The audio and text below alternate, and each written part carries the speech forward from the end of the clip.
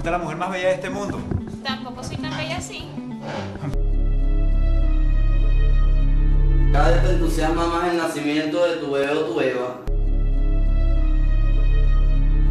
Para el muchachito que está allá adentro. Ahora te dio por adivinar el sexo de los bebés. No vale ninguna adivinar.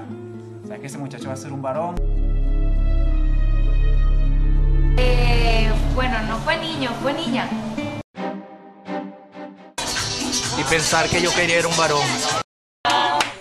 Todos llenos de alegría en esta fecha natal. Tus más íntimos amigos,